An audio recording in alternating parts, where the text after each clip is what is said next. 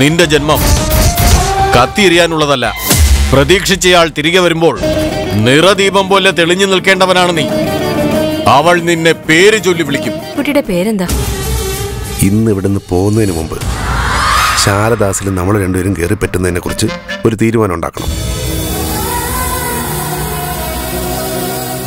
എന്നും സമ്മതം. എല്ലാ ദിവസവും രാത്രി ഏഴ് മണിക്ക്.